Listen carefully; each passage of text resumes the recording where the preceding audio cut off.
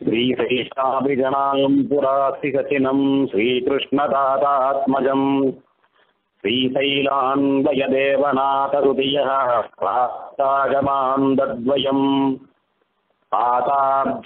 मधुव्रतस्य नृसिंहदातय गुरोर्न्यस्तात्मरक्षावरम् विद्वद्बृन्दचकोरचन्द्रमहम् रामाङ्कार्यम् त्रये श्रीदेवनाथदातार्याल्लब्धवेदान्तसम्भतम् श्रीशैलकृष्णदातार्यसूनुम् रामानुजम् भजे श्रीमते सनकोपरामानुजदातर्यार्यमहादेशिकाय नमः रामानुजदयापात्रम् ज्ञानवैराग्यभूषणम् श्रीमद्वेङ्कटनाथार्यम् वन्दे वेदान्तदेशिकम् வாழியருளாளர் வாழியணியத்திகிரி வாழியதிராசன் வாசகத்தோர்.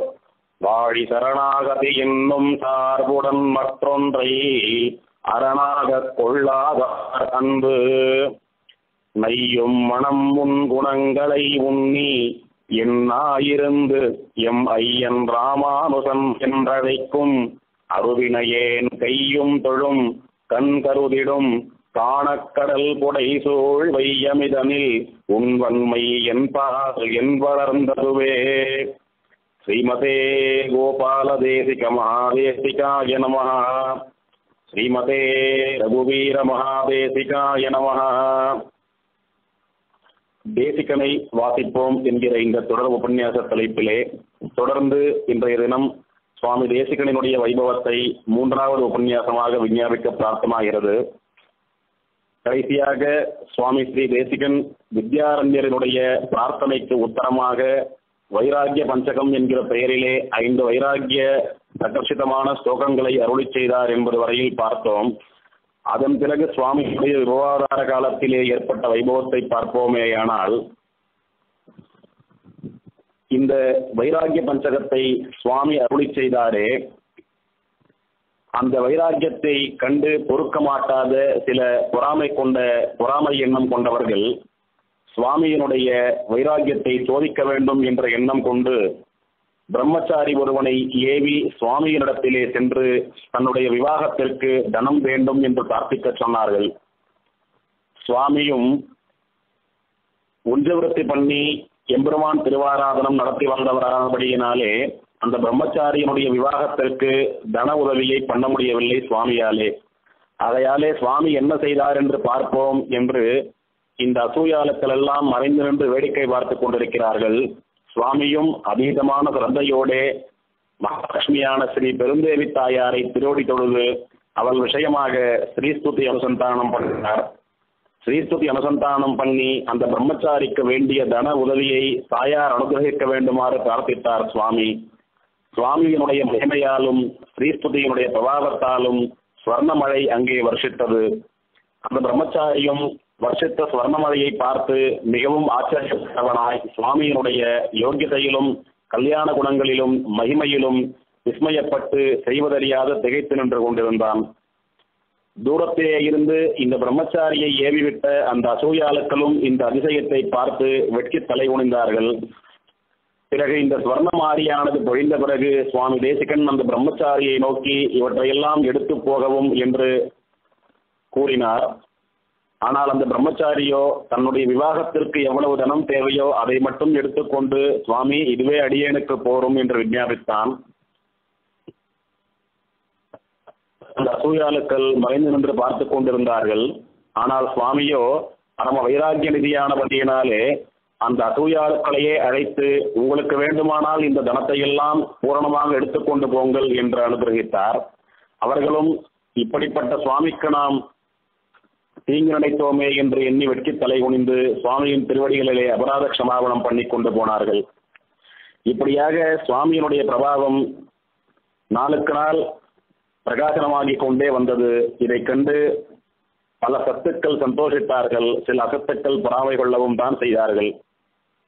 ஸ்ரீரங்கத்திலே ஒரு நாள் உத்ருஷ்டி மதத்தைச் சேர்ந்த வித்வான்கள் பலர் கூட்டம் கூட்டமாக நம்முடைய ஸ்ரீ வைஷ்ணவர்களிடம் வந்து இப்போது உங்களுடைய ராமானுஜ சித்தாந்தத்தை நிர்வாகம் பண்ணக்கூடிய சக்தி உள்ளவர்கள் எங்களை வாதத்தில் வென்று எங்கள் கேள்விகளுக்கெல்லாம் சமாதானம் சொல்ல வேண்டும். அப்படி சமாதானம் சொல்லி எங்களை வாதத்தில் வெல்ல வேண்டும். அப்படி இல்லாவிட்டால் எங்களுடைய சித்தாந்தத்தில் சேர்ந்து விட வேண்டும். உங்களுடைய ஸ்ரீவைஷ்ணவ சம்பிரதாயத்திலிருந்து ராமானுஜ சித்தாந்தத்திலிருந்து திருஷ்டாத்வைத கோட்பாடுகளிலிருந்து விலகிக் கொள்ள வேண்டும் என்று நிர்பந்தம் பண்ணினார்கள். எவ்வளவோ சொல்லி தந்தார்கள் அன்றைய காலத்தில் ஸ்ரீரங்கத்திலே நம்முடைய சம்பிரதாயத்தைச் சேர்ந்த ஆச்சாரிய புருஷர்களாக சுதப்பிரகாசிகாச்சாரியர் என்கிற சுதர்சன சூழ்நிபட்டர் நம்ம ஆரோக்கியமான நாலாயிரம் திவ்ய பிரபந்தங்களுக்கு வியாக்கியானம் பகுதி செய்த பெரியவாச்சான் பிள்ளை கேலோகாச்சாரியர் முதலானோர் எழுந்துள்ளிருந்தார்கள் அவர்கள் எல்லோரும் அப்பொழுது மிகவும் புத்தக செயலை எழுந்துள்ளிருந்தார்கள் பெரியவாச்சான் பிள்ளை பிள்ளைவாச்சாரியர் முதலியோர் சுதப்பிரகாசிகாச்சாரியர் என்கிற சுதர்சனப்பட்டை நெஞ்சம் சமர்ப்பித்து இப்பொழுது நாம் என்ன செய்வது நம்முடைய சித்தாந்தத்திற்கு இப்படி ஒரு சொன்னை வந்துவிட்டதே என்று செய்வதையாவது விட்டார்கள் சுதப்பிரகாசிகாச்சாரியரும் ராமானுஜ சித்தாந்தத்திற்கு பிரபலராகும்படி உடையவர் திருவுள்ள அறிந்து நம்முடைய ரணாதூரம்மாள் அன்றே தேசிகனை அனுமதித்தருளினார் அந்த ரணாதூரம்மாளுடைய பரம அனுகிரகத்தாலே சுவாமி தேசிகனும் மிகவும் அபிபுத்தமான ஞானத்தோடே பெருமாள் கோவிலே சித்தாந்த பிரவசனம் பண்ணிக் கொண்டு ஆச்சாரிய புருஷராக எழுந்துள்ளிருக்கிறார் அவரை கொண்டே நாம் வித்வான்களை எல்லாம் பிரசனம் பண்ணி நம்முடைய சித்தாந்தத்தை ஸ்தாபனம் பண்ணிக் கொள்ள வேண்டும் என்று சுடப்பிரகாசிகாச்சாரியர் அருளி செய்தார் அப்பொழுது நம்முடைய தேசிகன் காஞ்சிபுரத்திலே தேவபெருமாள் சன்னதியிலே ஸ்ரீபாஷ காலக்ஷேவாதிகள் எல்லாம் சாதித்துக் கொண்டு எம்பெருமானார் தரிசனத்தை பலவிதமான பிரமாணங்களாலே ஸ்தாபித்துக் கொண்டிருந்தார். பிறகு இந்த பெரியோர்கள் எல்லாம் சேர்ந்து ஒரு ஓலைச்சுவடியில் பெரிய பெருமாளினுடைய சேனாதிபதி ஆழ்வானாகிற விஸ்வக்சேனரின் சாசனம் என்கிற பெயரிலே ஸ்ரீமத் ஸ்ரீரங்கநாதஸ்ய விஸ்வக்சேனஸ்ய சாசனம் தத் பக்த பக்த பக்தானாம் சிரோபூஷணதாங்கதம் என எழுதி சுவாமி தேசிகனுக்கு அதை ஒரு திருமுகப்பட்டயமாக அனுப்பினார்கள். அந்த வாசகத்திற்கு என்ன அர்த்தம் என்றால் திருவரங்கத்திலே பள்ளி கொண்டிருக்கக்கூடிய பெரிய பெருமாளினுடைய சேனாபதி ஆழ்வானாகிற விஸ்வக்சேனரினுடைய கடிதம் இது. இதை காணும் அவரினுடைய பக்தர்களுக்கு பக்தர்களுக்கு பக்தர்களாக இருக்கக்கூடிய பாகவதோத்தமர்கள் இதை திறமேற்கொண்டு ஸ்ரீரங்கத்திற்கு வந்து எழுந்தருள வேண்டும் என்று அர்த்தம் படும்படியாக அந்த ஸ்லோகத்திலே எழுந்தருளப்பட்டிருந்தது. சுவாமியும் அந்த திருமுக பட்டயத்தை அதீதமான சிரத்தையோடே வாங்கி தம்முடைய திருக்கண்களில் ஒற்றிக்கொண்டு திருமுடியில் தரித்துக் கொண்டு அந்த ஓலைச்சுவடியை கடாட்சிக்கிறார். கடாட்சித்து பார்த்த பொழுது ஸ்ரீரங்கநாதனுடைய சேனாபதி ஆழ்வான் நியமனமாக சுவாமி உடனே திருவரங்கத்திற்கு எழுந்துள்ள வேண்டியது என்று எழுதப்பட்டிருந்ததைக் கண்டு மிகவும் போர உகந்தருளினார் சுவாமி. பெரிய பெருமாளினுடைய சேனாபதி ஆழ்வான் நியமனத்தை திருசா வகித்து பெரிய பெருமாள் கோவிலுக்கு சென்று பெருந்தேவி தாயாரை முன்னிட்டுக் கொண்டு பேரர் பெருமாள் நியமனத்தையும் பெற்றுக்கொண்டு ஸ்ரீரங்கம் நோக்கி புறப்பட்டருளினார் நம்முடைய தேசிகன். தென்னாடும் வடநாடும் தோழமென்ற திருவரங்கத்தை அடைந்து திருக்காவிரியிலே தீர்த்தமாடி தம்முடைய விசிதமான நித்தியானுஷ்டானங்களை எல்லாம் முடித்துக் கொண்டு உத்தமர் கோயில் என்று பிரசித்தமான திருக்கரம்பனூரிலே புருஷோத்தம பெருமாளை திருவடி தொழுது பெரிய கோயிலை அடைந்து ஆறாத அருளமுதம் கவிந்த கோயில் அம்பிகத்தோன் அயோத்தி மன்னருக்கு அளித்த கோயில் என்று தொடங்குகிற எட்டு வரி பாடல்களாலே பெரிய கோவிலை மங்களாசாசனம் செய்து பெரிய கோவிலின் ஏற்றத்தை அந்த பாசுரத்தின் மூலமாக அனுசந்தித்து பெரிய கோவிலை பிரதட்சணமாக சுற்றி பெரிய கோவிலின் உள்ளே நுழையவிருக்கிறார் சுவாமி. அப்பொழுது பெரிய கோவிலைச் சேர்ந்த அனைத்து கொத்து பரிஜனங்களும் எம்பெருமானுக்கு உடுத்து கலைந்த திருமாலை திருப்பறிவட்டம் முதலான வரிசைகளை ஏந்தி கொண்டு சகல வாத்தியங்களோடும் நம்முடைய சுவாமி எதிர்கொண்டடைத்தார்கள். சுவாமியும் பெருமாளினுடைய ஸ்ரீசடாரியை தம்மை நோக்கி வருவதைக் கண்டு ஸ்ரீசடாரியை தண்டம் சமர்ப்பித்தார். சுதப்பிரகாசிகாச்சாரியரோ சுவாமிக்கு எம்பெருமானுடைய திருமாலை திருப்பறிவட்டம் முதலிய பிரசாதங்களை அனுகிரகித்து ஸ்ரீசடாரியையும் சாதித்து சுவாமிக்கு அருளப்பாடிட்டருளினார் அதே சுதப்பிரகாசிகாச்சாரியர் நம்முடைய சுவாமியின் திருக்கரங்களை பிடித்துக் கொண்டு முன்பு நம்முடைய எம்பெருமானாருக்கு அருளப்பாடிட்டது போலே இப்போது நம்முடைய ராமானு சித்தாந்தத்தை நிர்வகிக்கும்படி உமக்கு அழகிய மணவாளன் அருளப்பாடி அருளினார் என்று நம்பெருமாள் நியமனத்தை அனுகிரகித்தார். சுவாமியும் அந்த நியமனத்தை திருசா வகித்து பிரதட்சிணமாக பெரிய கோவிலுக்குள் எழுந்தருளி ஸ்ரீரங்கநாச்சியாரை திருவடி தொழுதார். பெரிய பிராட்டியாரும் நம் சுவாமியை கடாட்சித்து ராமானுஜ சித்தாந்தத்தை நிர்வாகம் பண்ண கடவீர் என்று அருளப்பாடியிட்டு தாம் முடுத்து கலைந்த பெருமாளை முதலிய பிரசாதத்தை சுவாமி தேசிகனுக்கு அனுகிரகித்தருளினார். சுவாமி தேசிகனும் அதீதமான சந்தோஷத்தோடே சந்திர புஷ்கரிணியை பிரதட்சிணமாக சென்று பலிபீடத்தினருகே தண்டம் சமர்ப்பித்து அஸ்மத் தேசிகம் அஸ்மதேய பரமாச்சாரியான் அசேஷான் என்கிற குரு பரம்பரா தியான ஸ்லோகத்தாலே ஆச்சாரிய பரம்பரையை தியானம் பண்ணி திருமணத்தூண்களின் அருகே நின்று பெரிய பெருமாளையும் அழகிய மணவாளனையும் திருப்பானாழ்வார் அருளி செய்த அமரநாத பிரானின்படியே பாதாளிகேசம் கண்ணார கண்டு பரவசராய் எழுந்தருளியிருந்தார்.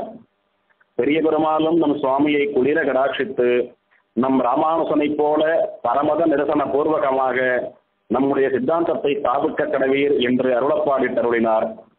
நம் சுவாமியும் அந்த பெருமாளினுடைய நியமனத்தை சிரசா வகித்து எம்பெருமானுடைய தீர்த்த பிரசாதாதிகளை எல்லாம் சுவீகரித்துக் கொண்டு பெரிய திருமண்டபத்திலே வந்து வாதத்துக்கு தயாராக எழுந்தருளியிருந்தார்.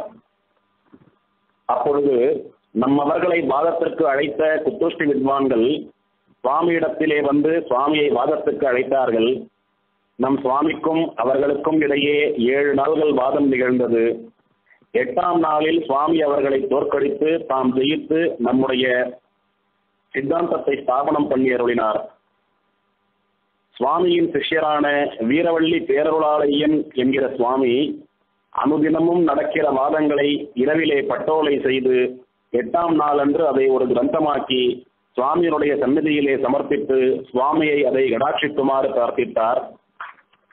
சுவாமியும் போர உகந்தருளி அந்த கிரந்தத்தை பூர்ணமாக கடாட்சித்து மிகவும் அற்புதமாக அந்த கிரந்தம் பட்டோலை செய்யப்பட்டிருக்கிறபடியினாலே அதை கொண்டாடி சததூஷணி என்கிற திருநாமத்தையும் அந்த கிரந்தத்திற்கு சாற்றி அருளினார்.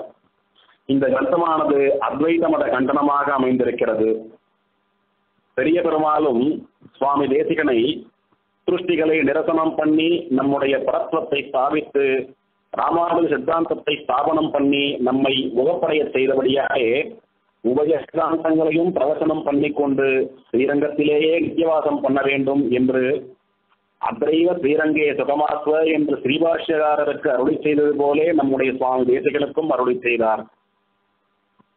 அந்த சமயத்தில் சுதர்பகாசிகாச்சாரியர் முதலிய பெரியோர்களும் பெரிய பெருமான நியமனத்தை தாங்கள் தலை கட்ட வேணும் என்று அருளி செய்ய சுவாமியும் அப்படியே ஸ்ரீரங்கவாசியாய் சித்தாந்த பிரவச்சனம் பண்ணிக்கொண்டு பல காலம் ஸ்ரீரங்கத்திலே எழுந்தருளியிருந்தார்.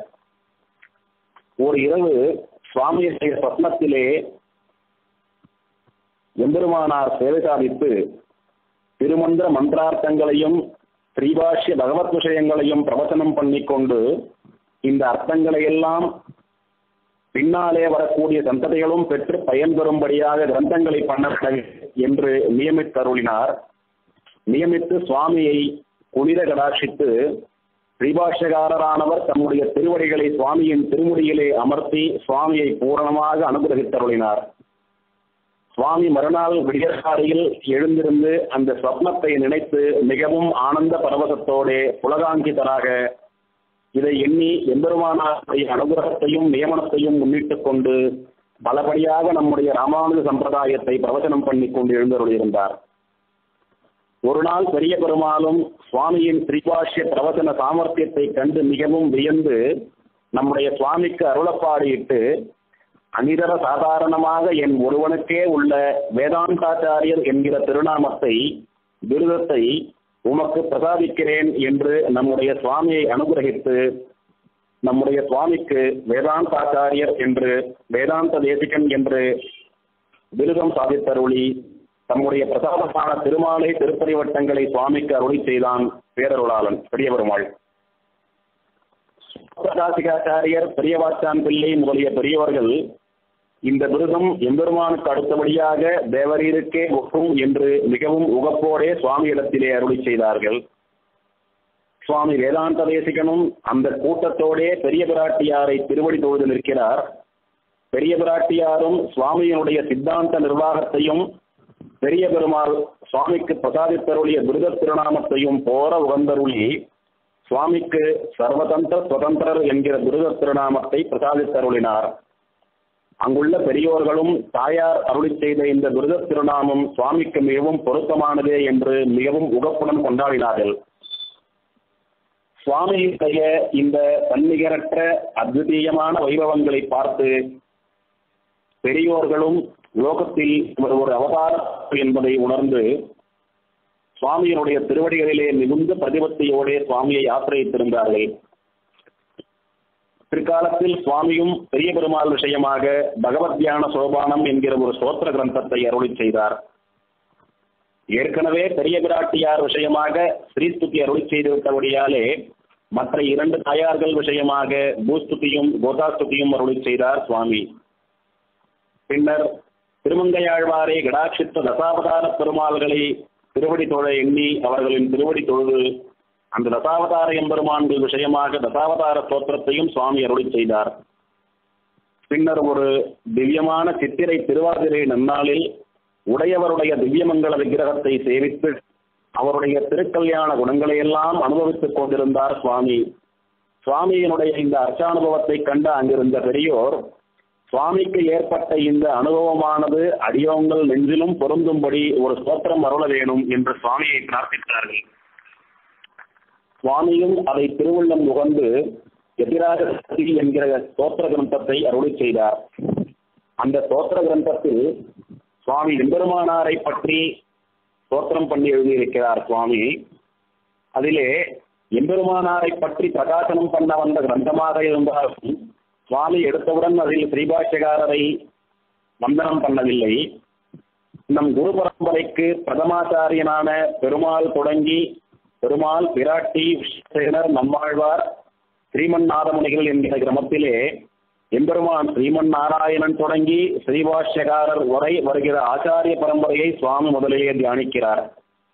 எதற்காக சுவாமி இப்படி பண்ணினார் என்றால் ராமானுஜர் என்கிற ஆச்சாரியரோ நம்முடைய ராமானுஜ சித்தாந்தமோ தான் தோன்றி அல்ல அன்றி உலகினை ஆக்கி என்கிறபடியே இந்த லோகத்தை சிருஷ்டி பண்ணி பிரம்மாவுக்கு வேதாதி சாஸ்திரங்களை உபதேசம் பண்ணினானே ஸ்ரீமன் நாராயணன் அந்த எம்பெருமானை முன்னிட்டு இந்த வேதாந்த சம்பிரதாயமானது இந்த ஆச்சாரிய பரம்பரையானது தைலதாரை போன்று இடைவிடாமல் பூரணமாக வந்து கொண்டிருக்கிற சம்பிரதாயம் இந்த உயர்ந்த தன்னிகரற்ற இடைவிடாத சம்பிரதாயத்திலே ஆச்சாரிய ரத்னமாக தோன்றியவர்தான் சுவாமி எம்பெருமானார் என்பதை லோகத்திற்கு புரிய வைப்பதற்காக எம்பெருமான் ஸ்ரீமன் நாராயணன் தொடங்கி ஆச்சாரிய பரம்பரை பூர்த்தியையும் தியானித்து எம்பெருமானாரை சேவித்தார். அப்படி குரு பரம்பரா பூர்வகமாக எம்பெருமானாரை சேவித்த பிறகே எம்பெருமானாரினுடைய திருக்கல்யாண குணங்களையும் கீர்த்தியையும் அவரினுடைய சித்தாந்த பிரவச்சன சாமர்த்தியாதிகளையும் அவர் பண்ணின சித்தாந்த நிர்வாகத்தையும் அவர் அருளி செய்த கிரந்தங்களையும் அவர் அருளி செய்த கிரந்தங்களினுடைய சிறப்பையும் அவர் அருள் செய்த கிரந்தங்களில் உள்ள விசேஷார்த்தங்களையும் சாரதமானங்களையும் தம்முடைய திருப்பதி என்ற சோத்திர கிரந்தத்திலே சுவாமி தேசிகன் அருளை செய்கிறார். உடையவரை பற்றி பூரணமாக தெரிந்து கொள்ள வேண்டுமே ஆனால் சுவாமி தேசிகனுடைய எதிராக சப்தத்தியை அர்த்தத்தோடே நாம் சேவித்தோமானால் உடையவரினுடைய ஏற்றம் நமக்கு அப்பொழுதுதான் முழுமையாக தெரிய வரும் அத்தகைய ஏற்றம் மிகுந்தது சுவாமி தேசிகன் உடையவர் விஷயமாக அருளி செய்த எதிராக சப்ததி இந்த எதிராக உடையவர் விஷயமாக சுவாமி அனுசந்தித்த பிறகு உடையவர் இதை கண்டு மிகவும் சந்தோஷித்து நம்மை பற்றி மாத்திரம் ஸ்தோத்திரம் பண்ணாமல் நாம் அருளி செய்த கிரந்தங்களினுடைய சாரதமாம்சங்களை எல்லாம் உம்முடைய ஸ்லோகங்களில் வடிவமைத்துள்ளீரே. தங்களுக்கு தகுந்த பாரிதோஷிகம் அதாவது பரிசு ஒன்றும் இடத்திலே இல்லை என்று சொல்லி உடையவர் தன்னுடைய தீர்த்த பிரசாதாதிகளையும் திருமாலை திருப்பரிவட்டம் முதலியவைகளையும் அர்ச்சக முகேன சுவாமிக்கு பிரசாதித்து சுவாமியை போகமாக கடாட்சித்தருளினார். சுவாமியும் அவற்றை பரம பக்தியோடே ஸ்வீகரித்து உடையவர் நியமனப்பட்டு பரமத நிரசன பூர்வக சமதஸ்தார்த்தமாக அதாவது உயர்ந்ததான நம்முடைய ஸ்ரீ வைஷ்ணவ சித்தாந்தத்தை நிலைநாட்டும் பொருட்டு இதர மதங்களை கண்டனம் பண்ணும் விதமாக தத்துவமுக்தா கலாபம் என்கிற கிரந்தத்தையும் அதற்கு வியாக்கியானமாக சர்வார்த்த சித்தி என்கிற கிரந்தத்தையும் அருள் செய்தார் சுவாமி தேசிகன் நம்முடைய ரகமாக சொல்லுவார்கள். சுவாமி தேசிகனுக்கு ஸ்ரீரங்கம் ரங்கநாத பெருமாளுக்கு ஒரு முத்துமாலை சமர்ப்பிக்க வேண்டும் என்ற திருவுள்ளமாம். ஆனால் சுவாமி முத்துமாலை சமர்ப்பிக்கும் அளவுக்கு தனிகர் அல்ல. உஞ்சவருத்தி பண்ணியே பெருமாள் திருவாராதனம் அந்தர்யாமி ஆராதனம் முதலியவைகளை கடைசி வரைக்கும் பண்ணி வந்த ஆச்சாரிய உத்தமரணம் சுவாமி அப்படி இருக்கிற பொழுது சுவாமி எப்படி முத்துமாலையை எம்பெருமானுக்கு சமர்ப்பிக்க முடியும் என்றால் தத்துவங்களினாலான முத்துமாலை என்று சொல்லக்கூடிய தத்துவமுக்தா கலாபத்தை பண்ணி தத்துவமுக்தா கலாபம் என்கிற கந்தத்தை பற்றி பெரிய பெருமாளுக்கு சாற்றி அழகு வார்த்தாராம் சுவாமி தேசிகன். இந்த கிரந்தத்தை பற்றி குறிப்பிடுகிற பொழுது சர்வஜத்வே தத்துவமுக்தா கலாபகா என்று தத்துவமுக்தா கலாபத்திலே உள்ள விஷயங்கள் எல்லாம் ஒருவருக்கு கைவரப் விட்டால் அவர்கள் சர்வஜகரா சர்வஜராகி விடுகிறார்கள் என்ற பொருள்பட பூர்வாச்சாரியர்கள் அனுசந்தித்தார்கள் அந்த அளவுக்கு நம்முடைய சித்தாந்த விஷயங்கள் மிளிரக்கூடிய கிரந்தம் சுவாமியினுடைய தத்துவமுக்தா கலாபம் என்கிற கிரந்தம். அதற்கு சுவாமியே வியாக்கியானமாக சர்வார்த்த சித்தி என்கிற கிரந்தத்தை அருளி செய்தார். ஆனால் அந்த கிரந்தத்தினுடைய ஏற்றம் முக்கியம் என்னவென்று நாம் புரிந்து கொள்ள வேண்டும்.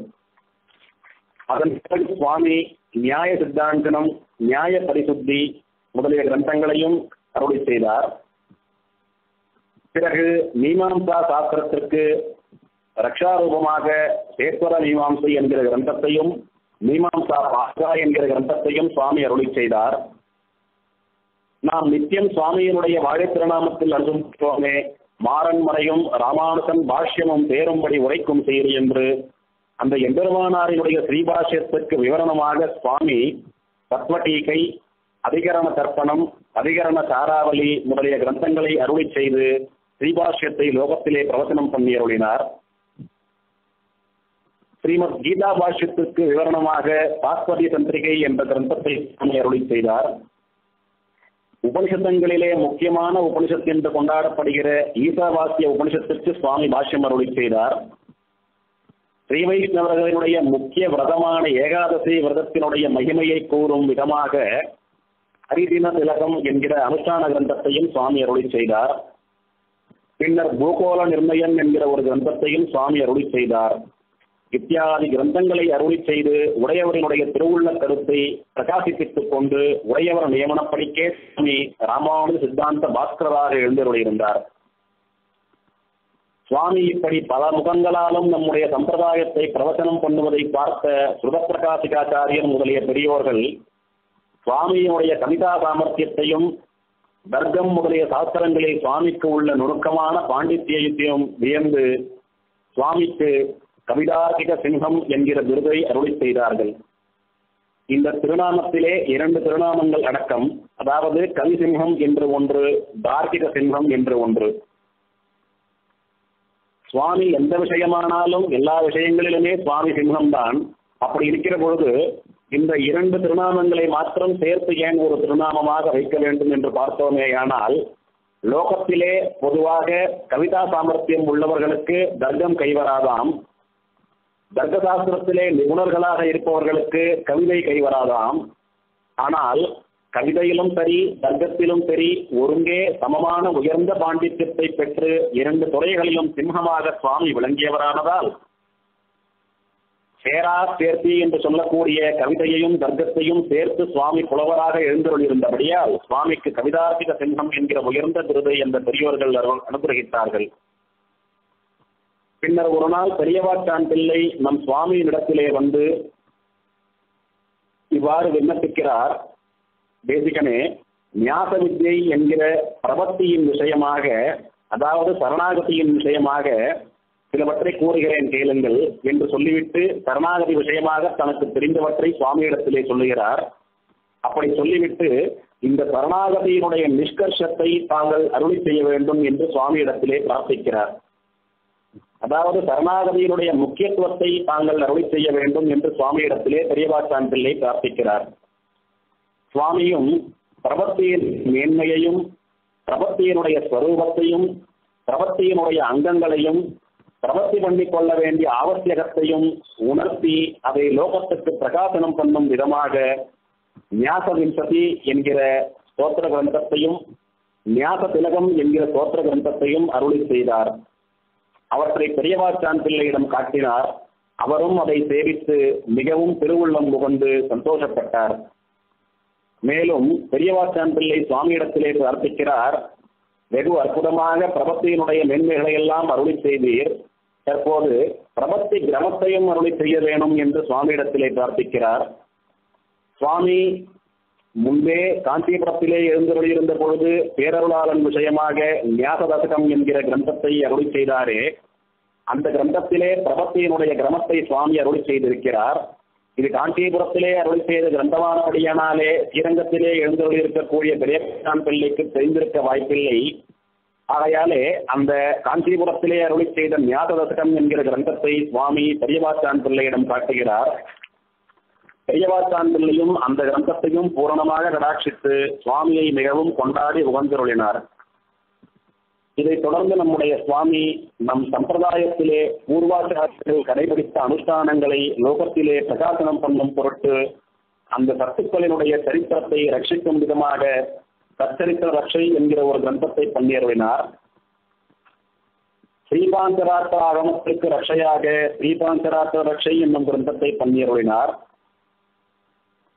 கீதாச்சாரியன் திருவாய் மறந்தருளின ஸ்ரீமத் பகவத்கீதைக்கு வியாக்கியானமாக ஆள வந்தார் கீதார்த்த சங்கிரகம் அருளி செய்தாரே அந்த கீதார்த்த சங்கிரகத்துக்கு வியாக்கியானமாக நம்முடைய சுவாமி கீதார்த்த சங்கிரக ரட்சை என்கிற கிரந்தத்தை அருளி செய்தார். பின்னர் பிரபத்தையினுடைய மேலை சிறப்பை ஆவசியகத்தை உலகத்திலே பறக்க உணர்த்தும் பொருட்டு நிக்ஷேபம் என்று சொல்லக்கூடிய பிரபத்தினுடைய பிரபத்தியினுடைய சிறப்பை வலியுறுத்தும் விதமாக நிக்ஷேபரக்தி என்கிற கிரந்தத்தை சுவாமி அருளி செய்தார். பின்னர் ரகசியங்களின் மேன்மையை உணர்த்துகிற வகையிலே ரகசிய ரட்சை என்னும் கிரந்தத்தையும் சுவாமி அருளி செய்தார். பின்னர் எம்பெருமானார் அனுசந்தித்தருடைய ஸ்ரீவைகுண்டங்களுக்கு சுவாமி பாஷ்யம் செய்தருளினார். ஆலவந்தார் பிராட்டி விஷயமாக அனுசந்தித்த சதுசுலோகிக்கு பாஷ்யம் பண்ணியருளினார். ஆலவந்தார் அருளி செய்த சோத்திர ரத்தனத்துக்கும் பாஷ்யம் செய்தருளினார் நம் சுவாமி. இப்படியாக பூர்வாச்சாரியர்களுடைய கிரந்தங்களுக்கு வியாக்கியானங்களும் அவற்றினுடைய மேன்மைகளை லோகத்திலே பரப்பக்கூடிய விதமாக கிரந்தங்களையும் அருளி செய்து நம்முடைய சுவாமி சித்தாந்த ஸ்தாபகம் பண்ணிக்கொண்டு எழுந்தருளியிருந்தார். இப்படியாக சுவாமி ஸ்ரீரங்கத்திலே சித்தாந்த பிரவச்சனம் பண்ணி கொண்டிருக்கிற நாளில் விஜயநகர சாம்ராஜ்யத்தில் மத்துவ மதத்தைச் சேர்ந்த அக்ரோபிய முனி என்பவருக்கும் அத்வைத மத சன்னியாசியான வித்யாரண்யர் என்பவருக்கும் வேதாந்தத்திலே வாதம் நடந்து வந்ததாம். இந்த வாதமானது நீண்ட நாள்கள் இழுத்து கொண்டே போய் ஒரு முடிவுக்கு வராமல் இருக்கவே அந்த விஜயநகர ராஜாவானவன் அதிருப்தி அடைந்து இந்த வாதத்திற்கு தீர்ப்பு சொல்லக்கூடிய தகுந்த ஒரு சுவாமி எங்கே இருக்கிறார் என்று விசாரித்து பார்த்த பொழுது ஸ்ரீரங்கத்திலே அத்விதீயமான கீர்த்தியோடே நம்முடைய சுவாமி தேசகன் எழுந்தருள் இருக்கிறார் என்பதை கேள்விப்பட்டு சுவாமி சந்நிதிக்கு இரண்டு ஓலைகளை அனுப்புகிறான் அந்த ராஜா. அந்த ஓலைகளில் வித்யாரண்யர்களுடைய தரப்பு வாதங்களை ஒரு ஓலையிலும் அச்சோபியனுடைய தரப்பு வாதங்களை ஒரு ஓலையிலும் பூரணமாக எழுதி இருதரப்பு வாதங்களையும் ராஜதேவதர்கள் மூலமாக சுவாமி சன்னதியிலே சமர்ப்பிப்பதற்கு அந்த ராஜா அனுப்பி வைக்கிறான். அனுப்பி சுவாமி இந்த இருதரப்பு வாதங்களையும் பூரணமாக கடாட்சித்து இதிலே எது உண்மை எது யதார்த்தம் என்பதை அறி செய்ய வேண்டும் என்று சுவாமியினுடைய திருவடிகளிலே பிரார்த்திக்கிறேன் என்று அதிலே எழுதி கையொப்பமிட்டிருந்தான். நம்முடைய சுவாமியும் ராஜாவினுடைய பிரார்த்தனைக்கு இறங்கி இருதரப்பு வாதங்களையும் பூர்ணமாக கடாட்சித்து ஒரு ஓலையில் இரண்டே வரியில் தம்முடைய தீர்ப்பை சுவாமி எழுதி அனுப்புகிறார். அசினா தத்துவம் அசினா பரஜீவ பிரதேதினா வித்யாரண்ய மகாரண்யம் அக்ஷோபிய முனிர் அச்சினது என்று அதிலே எழுதியிருந்தார். என்ன அர்த்தம் என்றால் அக்ஷோபிய முனி என்பவருக்கும் வித்யாரண்யர் என்பவருக்கும் வாதம் நிகழ்ந்தது அதிலே வித்யாரண்யர் என்கிற அந்த பெரிய காட்டை அக்ஷோபிய முனியானவர் தத்துவமசி என்கிற வாளாலே வெட்டி வீழ்த்தி விட்டார் என்று அதிலே தீர்ப்பு எழுதப்பட்டிருந்தது. இதிலே இருந்து ஏற்படுகிறது என்றால் அந்த இருவரிடையே பக்த மதஸ்தரான அக்ஷோபிய முனியினுடைய வாதமே சிறந்தது. இருவருள் அவரே ஜெயித்தார் என்று தெரிய வருகிறது சுவாமி இந்த உத்தர பதிவோலையை அந்த ராஜசேவகர்கள் மூலம் விஜயநகர ராஜாவுக்கு அனுப்பி வைக்கிறார். அதை சேவித்த விஜயநகர ராஜா நம் சுவாமி திருவடிகளில் மிகவும் பிரீத்தியோடே பிரவணனாயிருக்கிறான் இதை பார்த்த ராஜகுருவான வித்யாரண்யருக்கு அதை சகித்துக் கொள்ள முடியவில்லை. உடனே வித்யாரண்யர் ஒரு ஓலையிலே சுவாமி தேசிகனே தாங்கள் அத்வைத மதஸ்தர்களை கண்டனம் பண்ணுவதற்காக ஸ்ரீரங்கத்திலே சததோஷணி அருளி செய்தீர்களே அந்த சததோஷணியை நான் தூஷிக்கிறேன் என்று ஒரு ஓலையிலே எழுதி சுவாமிக்கு அனுப்பினார் வித்யாரண்யர். சுவாமியும் சததோஷணியை தாங்கள் பார்க்காதே எங்கனம் தூஷிக்கலாம் என்று வினவி வித்யாரண்யருக்கு ஒரு பிரதி சததோஷணியை அனுப்பி வைத்தார் நம் சுவாமி. வித்யாரண்யரும் அந்த சததோஷணியை சேவித்து அதில் எப்படி குறை கூறலாம் எங்கு குற்றம் கண்டுபிடிக்கலாம் என்று பலவாறாக உருட்டி திரட்டி பார்க்கிறார். ஆனால் வித்யாரண்யராலே அதிலே ஒரு குற்றம் குறையும் கண்டுபிடிக்க முடியவில்லை. கடைசியாக ஒருவாறு மனதை தேற்றிக் கொண்டு வித்யாரண்யர் ஒரு இடத்திலே ஒரு சகார அக்ஷரம் ஒரு ச என்கிற எழுத்து மிகுதியாக வந்துவிட்டது அனாவசியமாக வந்துவிட்டது. அந்த இடத்திலே அந்த எழுத்து இல்லாமல் இருந்தால் நன்றாயிருக்கும். அந்த எழுத்து அங்கே இருக்க வேண்டிய அவசியமே இல்லை என்று எழுதி சுவாமிக்கு ஓலை அனுப்பினார். சுவாமியும் அந்த ஓலையை பார்த்து வித்யாரண்ய உத்தம் அனுப்புகிறார். வியாக்கரண சாஸ்திரப்படி சகாரத்தை எங்கெல்லாம் உபயோகிக்கலாமோ அங்கெல்லாம் தான் உபயோகித்திருக்கிறேன். அந்த விதிகள் தங்களுக்கு பூர்ணமாக தெரிந்திருப்பின் இவ்வாறு எழுத பிரசக்தியில்லை என்கிற எண்ணத்தோடே சகார சமர்த்தனம் என்கிற ஒரு கிரந்தத்தை எழுதி வித்யாரண்யருக்கு அனுப்புகிறார் சுவாமி. அதை சீத்த வித்யாரண்யரும் நம்முடைய சுவாமியின் பாண்டித்யத்திலே மயங்கி எம்பெருமானுடைய கண்டாவதாரமான உங்களை நான் ஜெயிக்க முடியுமோ என்று உத்தரம் சொல்லி சுவாமியினுடைய திருவடிகளிலே பக்தியோடு இருந்தார். ராஜகுருவே சுவாமியினுடைய திருவடியிலே பக்தியோடு இருக்கிறாரே என்பதை கண்ட ராஜாவும் சுவாமியை தெய்வமாகவே நினைத்து சுவாமி சந்நிதியிலே தேவதா பிரதிபக்தியோடு எழுந்தருளியிருந்தான் பின்னர் ஒரு நாளில் நம் சுவாமி வேதாந்தாச்சாரியர் என்றும் சர்வதந்திர சுதந்திரர் என்றும் கவிதார்ஜிக சிங்கம் என்றும் மிருகங்களோடே பிரசித்தமான வைபவத்துடன் எழுந்தருளியிருப்பதைக் கண்டு பொறுக்க மாட்டாத கிருஷ்ணமிஸ்ரன் என்கிற ஒரு வித்வான் சுவாமியை தம்முடன் வாதம் பண்ணுவதற்காக அழைத்தான். சுவாமியும் மூன்று நாள்கள் அவனை வாதம் பண்ணி வாதத்திலே அவனை தோற்கடித்து ஜெயித்தார். கிருஷ்ணமிஸ்ரன் சுவாமியுடைய திருவடிகளிலே பக்தி ஏற்பட்டவனாக தான் எழுதிய பிரபோத சந்திரோதயம் என்கிற புஸ்தகத்தை சுவாமி சந்ததியிலே சமர்ப்பித்து சுவாமி அந்த புஸ்தகத்தை கடாட்சிக்க வேண்டும் என்று பிரார்த்தித்தான். என்று பிரார்த்தித்தானோ அன்று மறுநாள் காலையில் அந்த புஸ்தகத்தை சுவாமிக்கு வந்து சமர்ப்பிப்பதற்காக சொன்னான் சமர்ப்பிப்பதாக சொன்னான். சுவாமியும் அவரிடத்திலே அருள் செய்கிறார். நம்முடைய சங்கல்ப சூரியோதயத்தையும் பார்க்க கடவீர் என்று அருள் செய்தார். அதுவரை சுவாமி சங்கல்ப சூரியோதயம் என்ற கிரந்தத்தை அருள் செய்யவில்லை. என்று அவனிடத்திலே சொன்னாரோ அன்று ராத்திரி நம்முடைய யோகானுஷ்டானத்திற்கு பிறகு சங்கல்ப சூரியோதயம் என்கிற கிரந்தத்தை இயற்றி மறுதினம் துயிலெழுந்து நித்தியானுஷ்டானங்களை எல்லாம் முடித்துக் கொண்டு சன்னதிக்கு சென்று தாயார் பெருமாள்களை எல்லாம் சேவித்துக் கொண்டு பின்னர் அந்த கிருஷ்ணமிஸ்ரன் இடத்திலே சென்று எங்கே உன்னுடைய பிரபோத சந்திரோதயம்? என்று கேட்கிறார். அதோடு நான் எழுதிய சங்கல்ப சூரியோதயத்தையும் பார்க்க கடவாய் என்று அவனுடைய கிரந்தத்தை அவன் சுவாமியிடத்திலே சமர்ப்பிப்பதற்கு முன்பே சுவாமி தாம் அருளி செய்த சங்கல்ப சூரியோதயத்தை அவனிடத்திலே காட்டினார். அவன் அந்த கிரந்தத்தை பார்த்து மிகவும் அதிர்ந்து போனான். ஏனென்றால் சுவாமி இந்த பிரபோத சந்திரோதயம் என்கிற கிரந்தத்தை பார்க்காமலே அந்த கிரந்தத்திற்கு கண்டன ரூபமாக எனக்கு சங்கல்ப சூரியோதயத்தை அருள் செய்திருந்தாராம். இதனாலே சுவாமியிடத்திலே மிகவும் அதிசயித்து போனானவன். இதை அவன் அங்கே கூறுகிறான். அப்பொழுது சுதப்பிரகாசிகாச்சாரியர் முதலான பெரியோர்கள் அவனுடைய பிரபோதகந்தோதனை கிரந்தத்தையும் வாங்கி பூரணமாக கடாட்சித்தார்கள். நம் சுவாமி அருளை செய்த சங்கல்ப சூரியோதயம் என்னும் உயர்ந்த கிரந்தத்தையும் வாங்கி பூரணமாக சேவித்தார்கள். இரண்டையும் பார்த்துவிட்டு சுவாமி கிருஷ்ணமிஸ்ரனுடைய கிரந்தத்தை பார்க்காமலே அதற்கு கண்டன ரூபமாக இப்படி ஒரு கிரந்தம் அருளை செய்திருப்பது சுவாமி என்பதை சாதித்திருக்கிறது என் சுவாமியை பலவிதமாக கொண்டாடி ஏற்றினார்கள். அதே சமயத்தில் சுவாமிக்கு கவிதார்த்திக சிம்மம் என்கிற விருதம் தகும். சுவாமி ஒருவருக்கே அந்த விருதம் தகும் என்று சுவாமியை மீண்டும் எல்லோரும் கொண்டாடினார்கள்.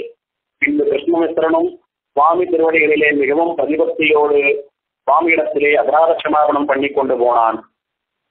இதை கண்டு சரியாத இதர மதத்தைச் சேர்ந்த திண்டிமதமி என்கிறவன் தான் ராமாபிரதயம் என்கிற ஒரு காவியத்தை ஸ்ரீராமச்சந்திரமூர்த்தி விஷயமாக பண்ணி சுவாமியிடத்திலே காட்டினான். சுவாமியும் யாவவாபிரதயம் என்கிற ஒரு காவியத்தை கீதாச்சாரியன் மூலமாக பண்ணி அந்த திண்டிமகவியினிடத்திலே காட்டுகிறார். பிந்து மகாவித்வானாலே தான் பண்ணின ராமாபுதயத்திற்கும் சுவாமி அனுகிரகித்த யாதவாபுதயத்திற்கும் ஏணி வைத்தாலும் எட்டாது என்கிற உயர்ந்த நெடுவாசியை புரிந்து கொண்டு வெற்றி தலைகுனிகிறான் சுவாமி யாதவாபுதய காவியத்தை ஸ்லாகித்து திறமேற்கொண்டு அதை பூஜித்து கொண்டாடுகிறான். அதோடு சுவாமி அம்சசந்தேசம் என்னும் கிரந்தத்தையும் பங்கேறுளினார் இதை கண்டு சுவாமியினுடைய வைதுஷ்யத்திற்கு அருகில் நாம் எல்லாம் நிற்கக்கூட முடியாது. அதையினாலே சுவாமியிடத்திலே போட்டி போட்டுக் கொண்டு வந்தது எவ்வளவு பெரிய தப்பு என்று இப்போது புரிந்துவிட்டது என்று சுவாமியிடத்திலே மன்னிப்பு கேட்டுக் கொண்டு விளைகிறான் அவன். பின்னர் அவன் சொன்னான் நான் மீண்டும் மீண்டும் படையறைந்து கூறுகிறேன். கவிதார்மிக சிம்மம் என்கிற விருதம் சுவாமி வேதிகளுக்கே தகும் கூறிவிட்டு சுவாமி விஷயமாக வேதே சஞ்சார வேதே என்கிற ஒரு மந்தன் ஸ்லோகத்தையும் சமர்ப்பித்து அங்கிருந்து விடைபெற்றுக் கொண்டு சென்றான் அந்த வெண்ணிமகவி. பின்பு சுவாமியும் திருக்குடந்தை முதலான விவதேசங்களுக்கு எழுந்தருளி எம்பெருமான்களை திருவடி தொழுது திருப்புல்லானிற்கு சென்று திருவனையிலே தீர்த்தமாடி அந்த எம்பெருமானையும் எம்பெருமாட்டையும் திருவடி தொழுது பெரியாழ்வார் திருவதார்த்தாலே புனிதமான ஸ்ரீவில்லிபுத்தூருக்கு சென்று பெரியாழ்வாரையும் வடபெருங்கோயிலுடையானையும் கொடி கொடுத்த நாச்சியாரையும் திருவடி தொழுகிறார். அந்த பாடவல்ல நாச்சியாரும் சுவாமி தேசிகனை நோக்கி அருளப்பாடித்து நாம் செய்தருளின உயர்ந்த உபனிஷத்தான திருப்பாவையில் உள்ள விசேஷ அர்த்தங்களை எல்லாம் வியாசமிசதி முதலான கருணாகதியினுடைய மேன்மையை கூறுகிற கிரந்தங்களாலே உலகிலே பிரகாசப்படுத்தினீரே என்று மிகவும் சந்தோஷமாக சுவாமியை புகழ்ந்தருளுகிறாள் கோதா பிராட்டி அந்த மகிழ்ச்சியின் வெளிப்பாடாக சுவாமிக்கு தன்னுடைய திருமாலை முதலிய தீர்த்த பதாதாதிகளை எல்லாம் அனுகிரகிக்கிறாள். சுவாமியும் மிகுந்த பக்தி வினயத்தோடே அவற்றை பெற்று உள்ளம் பூரித்து கோதா சுபியை அனுசந்திக்கிறார் கோதா பிராட்டியின் திருமுன்பு. பின்னர் ஆண்டாளின் திருவடிகளில் சுவாமி விடை கொண்டு ஆழ்வார் திருநகரைக்கு எழுந்தருளி திருப்புலி ஆழ்வார் அடியிலே எழுந்தருளி இருக்கும் சுவாமி நம்மாழ்வாரை திருவடி தொகுதி நின்றார். சுவாமி நம்மாழ்வாரும் சுவாமியை நோக்கி அருளி செய்கிறார். நாம் அருள் செய்த திருவாய்மொழியில் உள்ள விசேஷ அர்த்தங்களை எல்லாம் நிக்ஷேப ரட்சை ரகசிய ரட்சை முதலிய கிரந்தங்களாக பிரகாசிப்பித்த உமக்கு பாரிதோஷிகமாக ஒன்றும் அமையாது அதாவது பரிசாக ஒன்றும் கிடைக்காது என்று மிகவும் சந்தோஷத்துடனே வாழ்த்தி அருளி நம் திருவாய்மொழிக்கு நம் திருவுள்ளத்துக்கு மிக உகந்த வியாக்கியானமான திருப்புரை பிரான் பிள்ளான் அருள் செய்த ஆறாயிரப்படிக்கு வியாக்கியானமாக சில கிரந்தங்களை பண்ண கடவியர் என்று சுவாமி தேசிகனை நம்மாழ்வார் நியமிக்கிறார். அந்த நியமனத்துடன் தம்முடைய அனுகிரகமாக தீர்த்த பதாதாரிகளையும் சுவாமிக்கு அருள் செய்கிறார்.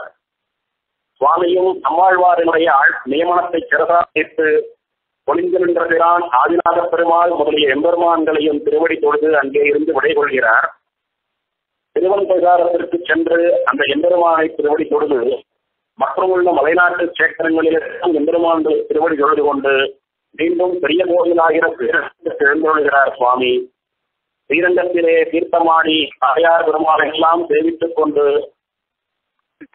சென்று குண்டரிகாட்ச பெருமாளையும் பங்கையத்தல்வியாரையும் திருவடி தொழுது ஸ்ரீமோசத்திற்கு சென்று ஞானத்திரானை திருவடி தொழுகிறார்.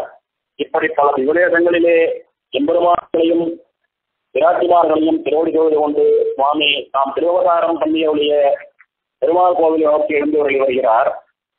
பெருமாள் கோவிலுக்கு எழுந்தவழி பெருந்தேவி தாயாரையும் பேரலாள பெருமாளையும் திருவடி தொழுது பல வருஷங்கள் பெருமாள் கோவிலிலேயே சித்தாந்த பிரவச்சனம் பண்ணி கொண்டு எழுந்தவழி இருக்கிறார்.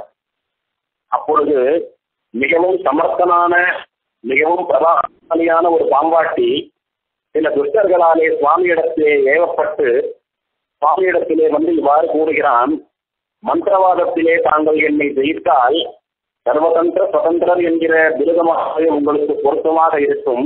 அப்படி இல்லை என்றால் அந்த விரதமானது உங்களுக்கு தகாது என்று சுவாமியை வாதத்திற்கு அழைத்தான். சுவாமியோ தனக்கு சமானமாக இல்லாதவனுடன் எப்படி வாதம் பண்ணுவது என்று வெறுமனே இருந்து விட்டார் ஆனால் சிஷ்யர்களோ அவனை வெல்லுமாறு சுவாமியை பிரார்த்தித்தார்கள். சுவாமியும் சிஷ்யர்களுடைய பிரார்த்தனைக்கு இணங்க தம் முன்னால் தலையிலே தம் நகர்த்தாலே ஏழு கீழல்களை கீறினார். அதாவது ஏழு கோடுகளை போட்டார். அதற்கு பிறகு அந்த பாம்பாட்டியை பார்த்து சொன்னார் பாம்பாட்டியே இனி என்ன பரீட்சை வேண்டுமானாலும் நீ பண்ணிக்கொள்ளலாம் என்று. அந்த பாம்பாட்டியும் தன்னிடத்திலே இருந்த சர்ப்பங்களை எல்லாம் ஒவ்வொன்றாக ஏவினான். எந்த சர்ப்பத்தாலும் ஏழு கோடுகளையும் தாண்டி சுவாமியை நெருங்க முடியவில்லை. கடைசியாக ஒரு ராஜநாகத்தை ஏவி பார்த்தான் அந்த ராஜநாகமும் ஐந்து கோடுகளுக்குள்ளேயே நின்றுவிட்டது. ஏழாம் கோட்டுக்கு மேலே செல்லவில்லை. கடைசியாக அவனிடத்திலே இருந்த கொடிய விஷமுள்ள ஒரு உயர்ந்த ரக நாகத்தை ஈசினான் அது ஏழு கோடுகளையும் தாண்டி சுவாமியின் அருகே சென்றது. அப்பொழுது சுவாமியோ சர்ப்பங்களுக்கெல்லாம் எதிரியான நமக்கெல்லாம் காவலனான கருட பகவானை தியானித்து கருட பகவான் திருவடிகளிலே பக்தி சிரத்தை தோற்க கருட தண்டகத்தை அனுசந்தித்தார் அருளி செய்தார். கருட பகவானும் சுவாமியினுடைய பக்திக்கும் சுவாமி அருளை செய்த கருட தண்டகத்துக்கும் உகந்து கீழே வந்து அந்த பாம்பை தம் அழகாலே கொத்தி கொண்டு போய்விட்டார். பாம்பாட்டியும் சுவாமியை சேவித்து சுவாமியிடத்திலே பலவிதமாக புலம்பி சுவாமியிடத்திலே கெஞ்சுகிறான். அந்த ஒரு நாகத்தை வைத்துக் கொண்டுதான் நான் பழைப்பு நடத்தி கொண்டிருக்கிறேன். அதையும் உங்கள் தெய்வம் கொண்டு கொத்திக் கொண்டு சென்று விட்டது. இனி நான் எப்படி ஜீவிப்பேன்? தயவு செய்து உங்கள் தெய்வத்தை பிரார்த்தித்து என்னுடைய அந்த பிழைப்புக்கு காரணமான ராஜநாகத்தை மீட்டுக் கொடுக்க வேண்டும் என்று சுவாமி திருவடிகளிலே பிரார்த்திக்கிறான். சுவாமியும் தாம் முன்னமே திருவேந்திரபுரத்திலே அருளித்து துடபஞ்சாசத் என்கிற கோத்திரத்தாலே மீண்டும் கருட பகவானை அந்த பாம்பை விட்டு செல்லுமாறு பிரார்த்தித்தார். கருட பகவானும் சுவாமியினுடைய பிரார்த்தனைக்கு திருவுள்ளம் குளிர்ந்து மீண்டும் அந்த பாம்பை தரையிலே போட்டுச் சென்றார். அந்த பாம்பாட்டியும் அந்த பாம்பை எடுத்துக்கொண்டு தப்பித்தோம் பிழைத்தோம் என்று ஓடி சுவாமியை தென்னத்திற்கு சென்றான். பின்னர் சுவாமி பெருமாள் கோவிலிலிருந்து திருவேங்கடமுடையானை மங்களாசாசனம் பண்ண வேண்டும் என்கிற அபிலாஷையோடே திருமலைக்கு எழுந்தருளி திருவேங்கடமுடையானை திருவடி தொழுது அங்கிருந்து விடைபெற்றுக் கொண்டு வந்து எம்பெருமானார் திருவதாரம் பண்ணியருளிய ஸ்ரீபெரும்பூரூரில் எம்பெருமானாரையும் திருவடி தொழுது பெரிய கோயிலாகிற ஸ்ரீரங்கத்தை நோக்கி புறப்பட்டார்.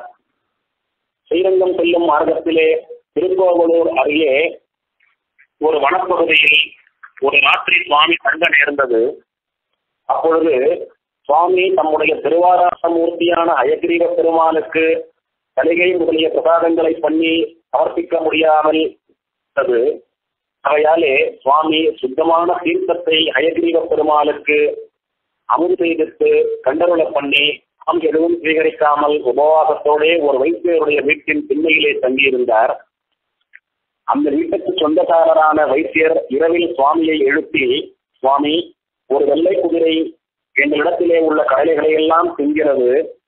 அந்த கடலைகளை விட்டுதான் நாங்கள் பிழைக்கிறோம் அந்த குதிரையானது அந்த கடலைகளை தின்னாதபடி நீங்கள் அதை கட்டிப்போட வேணும் என்று சுவாமியிடத்திலே பிரார்த்திக்கிறார். சுவாமியோ அவரை பார்த்து வைத்தியரே சுத்தமான பாகம் கொண்டு வாருங்கள் என்று நியமிக்கிறார். அந்த வைத்தியரும் சுவாமியினுடைய நியமனத்துக்கு இணங்க பாலை கொண்டு வந்து சமர்ப்பிக்கிறார். சுவாமி தம்முடைய திருவாராதன பெருமாளான அயக்ரீவ பெருமாளுக்கு அந்த பாலை கண்டுருள பண்ணுகிறார். கண்டுருள பண்ணிவிட்டு அந்த வைத்தியரை பார்த்து அருளி செய்கிறார். வைத்தியரே இனி உங்கள் கடலைகளை எங்கள் குதிரை பின்னாது என்று அருளி செய்கிறார். வைத்தியரோ சுவாமி குதிரைகளே கண்டன் சமர்ப்பித்து சுவாமி ஏதோ குதிரைதான் மேய்ந்து கொண்டிருக்கிறது என்று நினைத்து உங்களிடத்திலே முறையிட்டேன். அடியேனுக்கு எம்பெருமானே குதிரையாக வந்து சாப்பிடக்கூடிய அளவுக்கு இப்படி ஒரு பரமபாகியம் கிடைத்ததே என மிகவும் மகிழ்ந்தான். மகிழ்ந்து மறுநாள் விடியற்காலையில் ஸ்ரீ அயகிரிய பெருமாளுக்கு மிகவும் விசேஷமாக ஆராதனம் பண்ணுவதற்கு தேவையான திரவியங்களை எல்லாம் சுவாமிக்கு சமர்ப்பித்து அயகிரிய பெருமாளையும் சுவாமியையும் பகுமுகமாக ஆராதித்தார் அந்த வைத்தியர். பின்பு சுவாமியும் யாத்திரையை தொடர்ந்து திருக்கோவலூருக்கு சென்று ஆயனாரை திருவடி தொழுது அங்கிருந்து திருவகீந்திரபுரத்திற்கு சென்று அங்கு சில காலம் பெருமாள் திராட்டைகளை மங்களாசாசனம் பண்ணிக்கொண்டு சித்தாந்த பிரவச்சனம் பண்ணிக்கொண்டு எழுந்தருளி இருக்கிறார். சுவாமியப்படி சில காலம் திருவேந்திரபுரத்திலே தம்முடைய திருமலையிலே எழுந்தருளி கொண்டிருந்த நாளில் சில விஸ்தர்கள் கிணறு வெட்டக்கூடிய கொத்தன் ஒருவனை சுவாமியிடத்திலே ஏவி சுவாமியிடத்தை இவ்வாறாக பந்தயம் கட்டச் சொன்னார்கள். தேசிகனாகிற சுவாமியே தாங்கள் அருமையான ஒரு கிணறை கட்ட வேண்டும். அப்படி கட்டினாலே உங்களுக்கு சர்வதந்திர சுதந்திரம் என்கிற விருது செல்லும் அப்படி தாங்கள் கிணறு கட்டவில்லையானால் இது உங்களுக்கு தகாது என்று சுவாமியிடத்திலே அவன் வந்து செய்தான். சுவாமியும் தம்முடைய திருமாளிகையிலே மிகவும் நேர்த்தியான ஒரு சிறந்த கிணறை கட்டி காட்டினார். அந்த கொத்தன் தோற்று போனதை எண்ணி அசிங்கத்தாலே வெட்கப்பட்டு சுவாமி திருவடிகளிலே விழுந்து மன்னிப்பு கேட்டுக்கொண்டு சுவாமியினுடைய சகலகலா வல்லமையை நினைத்து சுவாமியை வணங்கி சென்றான். சர்வதந்திர சுதந்திரம் என்கிற விருது சுவாமிக்கு தகுந்த விருதே என்று சுவாமியிடத்திலே விண்ணப்பித்து சென்றான். சுவாமியும் சில நாள் கழித்து திருவேந்திரபுரத்திலிருந்து விடைகொண்டு வீரநாராயணபுரத்திற்கு எழுந்தருளி ஸ்ரீமன் நாதமுனிகளை திருவடி தொழுது நின்றார். ஸ்ரீமன் நாதமுனிகளும் சுவாமியை குளிர கடாட்சத்தை சித்தாந்த பிரவசன முகமாக பல கிரந்தங்களை நம்முடைய வைஷ்ணவ சம்பிரதாயத்திற்கு மகா உபகாரம் பண்ணி கொண்டு வருகிறீர் என்று கோர முகந்தருளி சுவாமி நம்மாழ்வாரின் நியமனத்தை தலைக்கட்ட கடவீர் என்றும் ஸ்ரீமன் நாதமணிகள் சுவாமி தேசிகத்தை அனுகிரகிக்கிறார். சுவாமிகள் அடியேன் அப்படியே செய்கிறேன் என்று உத்தரம் சொல்லி மிகவும் வினயத்தோட ஸ்ரீமன் நாதமணிகளிடத்திலே விண்ணப்பித்து ஸ்ரீமன் நாதமுனிகளுடைய பிரசாதங்களாக தீர்த்த பிரசாதாதிகளை எல்லாம் பெற்றுக்கொண்டு அங்கே தேவதாரனான எம்பெருமான் மன்னனாரையும் திருவடி மன்னனாரினுடைய பெற்றுக் கொள்கிறார். சிம்மனாரும் சுவாமியை குளிர கடாட்சி தருளி நான் திருமந்திரம் துவயமந்திரம் கரமஸ்லோகம் என்கிற ரகசியங்களை வெளியிட்டருடைய சரணாகதி மார்க்கத்தை ஒரு கத்தியத்தாலே பிரகாசனம் பண்ணினாரே எம்பெருமானார். அந்த எம்பெருமானார் உள்ளபடி அவரினுடைய நியமனத்தாலே சரணாகதியை லோகத்திலே பிரவசனம் பண்ணக்கூடிய விதமாக பல கிரந்தங்களை செய்து உலகத்தாரை திருப்பி கருணாகரன் சாஸ்திரத்தை பிரகாசிப்பிக்கிறீர் நீங்கள். உங்களுக்கு தகுந்த பாரிதோஷகம் ஒன்றும் இல்லை என்று அருள் செய்து நம்முடைய திருமாலை திருப்பதி வட்டம் உடைய பிரசாதங்களை எல்லாம் மன்னனார் சுவாமி தேசிகனுக்கு அனுமதிக்கிறார் சுவாமி மன்னனாரை சைத்துக் கொண்டு மன்னனார் நியமனத்தோடு மீண்டும் ஸ்ரீரங்கத்துக்கு எழுந்து வருகிறார். ஸ்ரீரங்கம் எழுந்தவனே பெரிய பிராட்டியாரையும் பெரிய பெருமாளையும் திருவடிதோடு சித்தாந்த பிரவசனம் பண்ணி கொண்டிருக்கிறார். அப்போது சுவாமியோடைய வைபவத்தையும் பிரபாவத்தையும் கேள்விப்பட்டு பல பிரதேசங்களில் இருந்து வந்த ஸ்ரீ வைஷ்ணவர்கள் சுவாமியை ஆசிரியத்து சுவாமியிடத்திலே ஸ்ரீபாஷ்யம் முதலான வேதாந்த சாஸ்திரங்களை எல்லாம் காலக்ஷேபம் பண்ணி வெற்றியலானார்கள் அதே சமயத்தில் சில மந்த புத்தியுடைய சாது ஸ்ரீ வைஷ்ணவர்களோ தங்களுக்கு ஸ்ரீபாஷ்யம் போன்ற கடினமான கிரந்தங்கள் எல்லாம் புரிந்து கொள்ளக்கூடிய சக்தி இல்லாத காரணத்தினாலே சுவாமியை தண்டம் சமர்ப்பித்து சுவாமியின் திருவடிகளிலே பிரார்த்தித்தார்கள். சுவாமி எங்களுக்கு வெற்றிகளைப் போல காலக்ஷேபம் பண்ணக்கூடிய அளவுக்கு உசந்த ஞானமில்லை. ஆகையாலே எங்களுக்கும் சுலபமாக புரிகிறவையாக தத்வகித புருஷார்த்தங்களையும் ரகசியார்த்தங்களையும் விசேஷார்த்தங்களையும் எளிய கிரந்தங்களாக அனுகிரகிக்க வேண்டும் என்று பிரார்த்திக்கிறார்கள். சுவாமியும் மிகவும் உகப்போடே ஸ்ரீ சம்பிரதாய பிரசித்தி என்கிற கிரந்தத்தை அருளி செய்தார்.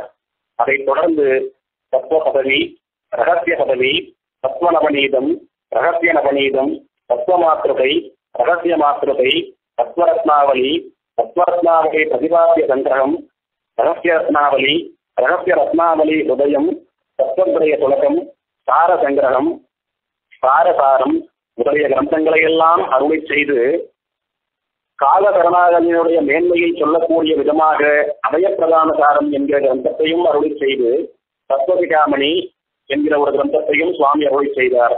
பின்னர் வராக பெருமாள் திருவாய் மலர்ந்தருடைய வராக கர்ம ஸ்லோகத்திற்கு வியாக்கியானமாக ரகசிய சிகாமணி என்கிற ஒரு கிரந்தத்தையும் சுவாமி அருளி செய்தார்.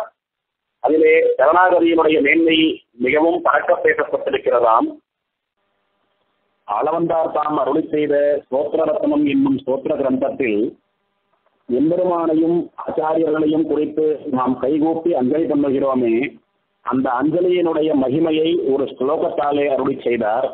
ஆனால் நம்முடைய சுவாமி தேசிகனோ ஆளவந்தாரினுடைய அஞ்சலி விஷயமான அந்த ஒரு ஸ்லோகத்துக்கு வியாக்கியான ரூபமாக அஞ்சலியினுடைய மகிமை அதாவது எம்பெருமானை நோக்கி நாம் அஞ்சலி பண்ணினோமானால் அந்த எம்பெருமான் கரைந்து விடுகிறான் உள்ளம் உருகி விடுகிறான். நம்மை நோக்கி அஞ்சலி பண்ணிய இந்த பக்தனுக்கு நாம் என்ன கொடுக்கலாம் என்று துடிக்கிறான் என்று அஞ்சலியினுடைய மகிமையை லோகத்திலே பிரகாசனம் பண்ணும் விதமாக அஞ்சலி வைபவம் என்னும் கிரந்தத்தை சுவாமி அருள் செய்தார். பின்னர் சம்பிரதாயத்திலே முக்கியமாக தெரிந்து கொள்ள வேண்டிய நூறு விஷயங்களை தொகுத்து பிரதான சதகம் என்கிற கிரந்தமாகவும் சுவாமி அருளி செய்தார். அடுத்தபடியாக விவகார சங்கிரகம் என்னும் ஒரு உயர்ந்த கிரந்தத்தை சுவாமி அருளி செய்தார். அதாவது எம்பெருமான் இந்த லோகத்தை சிருஷ்டித்து லோகத்திலே ஜீவாத்மாக்களாகிற நம்மையும் சிருஷ்டித்து நமக்கு எது நல்லது எது கெட்டது என்று அறிவித்து கெட்டதுகளை தவிர்த்து நல்லதுகளை செய்து நல்வாழ்க்கை வாழ்ந்து கடைசியில் திவ்ய தம்பதிகளாகிற தங்களின் திருவடிகளை அடைவதற்கு தத்வவித புருஷார்த்தங்களையும் உபதேசிக்கிற விதத்திலே வேதம் முதலிய சாஸ்திரங்களை எம்பெருமான் லோகத்திலே பிரகாசனம் பண்ணி அருளினான் அந்த வேதம் எல்லோருக்கும் புரிய வேண்டும் என்கிற காரணத்திற்காக புராணங்களையும் இதிகாசங்களையும் எம்பெருமான் அருளி செய்தான்.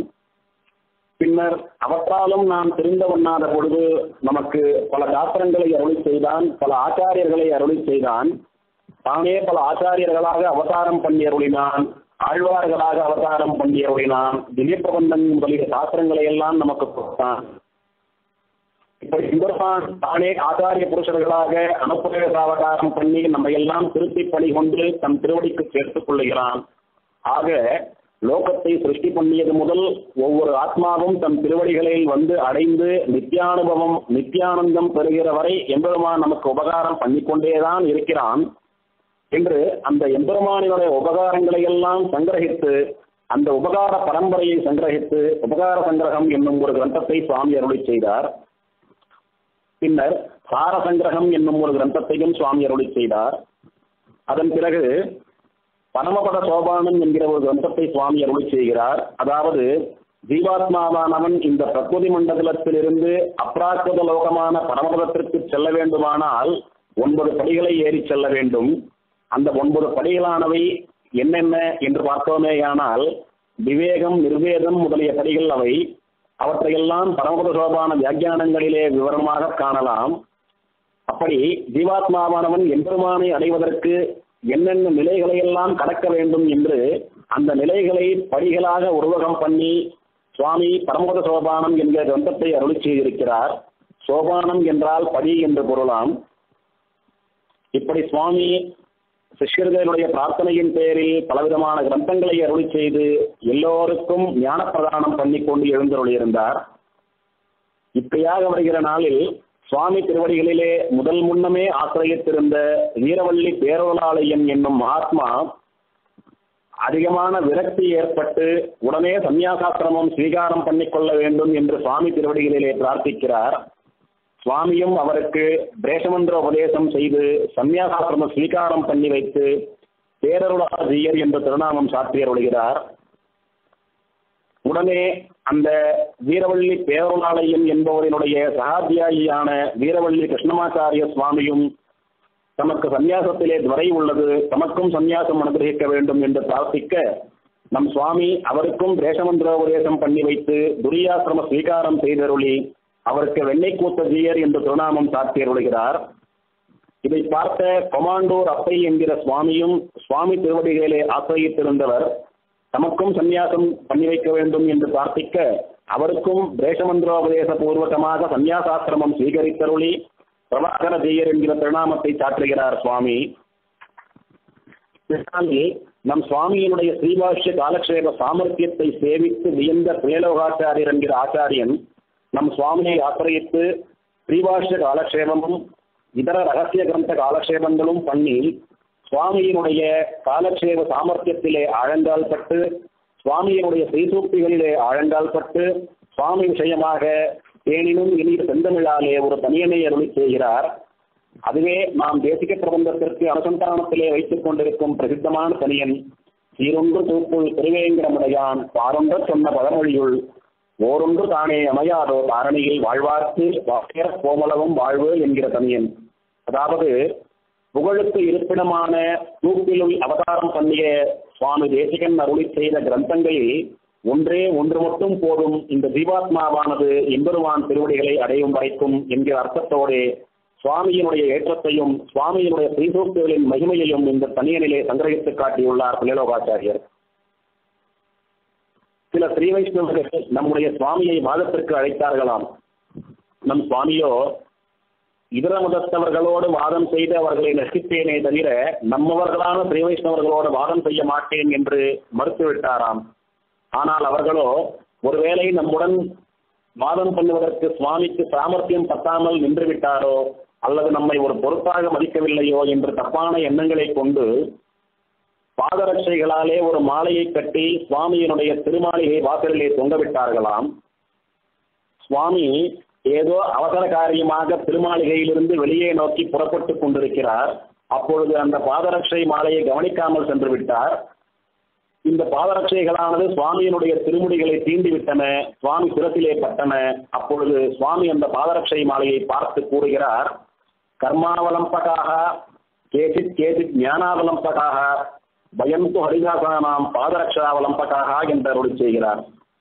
இந்த ஸ்லோகத்துக்கு என்ன அர்த்தம் என்று பார்த்தோமேயானால் ஜீவர்கள் எம்பெருமான் திருவடிகளை அடைவதற்கு உபாயமாக சிலர் கர்மயோகத்தை அனுஷ்டிக்கிறார்கள்.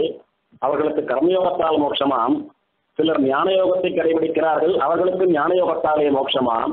ஆனால் அடியேனுக்கோ கர்மயோகத்தளவுக்கோ ஞானயோகத்தளவுக்கோ மிகவும் சிரத்தை இல்லாமல் அவ்வளவு கஷ்டப்படாமல் மிகவும் சுலபமாக ஹரிதாசர்கள் என்று திருநாமம் கொண்ட எம்பெருமானினுடைய பக்தர்களான பாகவதோத்தமர்களின் ஸ்ரீபாதுகைகளை தலையில் சுமப்பதன் மூலமாகவே எம்பெருமான் தன்னுடைய திருவடிகளை கொடுத்து விடுவான். பாகவத ஸ்ரீபாதுகா சம்பந்தத்தாலே எனக்கு மோட்சம் கிடைத்துவிடும் என்று அனுசந்தித்தாராம். சுவாமியினுடைய இந்த உயர்ந்த ஆத்மகுணத்தை ஆத்மகுண பூர்த்தியை பார்த்து அந்த அசூயாலுக்கள் சுவாமியினுடைய கல்யாண குணங்களிலே ஈடுபட்டு சுவாமி திருவடிகளிலே சேவித்து அபராத க்ஷமாபணம் பண்ணிக்கொண்டு அதற்கு சுவாமியிடத்திலே இப்படி வம்பு துப்புகள் எல்லாம் பண்ணாமல் சுவாமியின் திருவடிகளிலே பிரமணர்களாய் சுவாமியை ஆசிரியத்து சுவாமியினுடைய வழிகாட்டுதலின் பேரில் வீழ்ந்து போனார்களாம் இதற்கு மேற்பட்டு சுவாமியினுடைய வைபவத்தை அடுத்த உபன்யாசத்திலே விஞ்ஞாபிக்க பிராப்தமாகிறது கவிதார்க்கிக சிம்ஹாய கல்யாண குணசாலினே ஸ்ரீமதே வெங்கடேசாய வேதாந்த குரவே நம வாசித்விபசிரோபங்க பஞ்சானன பராக்கிரமः श्रीमान् वेङ्कटनाथार्य स्थिरं विजयताम्बुभिः स्वरिह्वाग्रसमासीनतुरङ्गाननहेषितैः सुनिरस्तविवक्षाय हृद्यन्तार्याय मङ्गलम् श्रीमते गोपालदेशिकमहादेशिकाय नमः श्रीमते रघुवीरमहादेशिकाय नमः श्रीमते जनकोपरामानुजदातयार्य महादेशिकाय नमः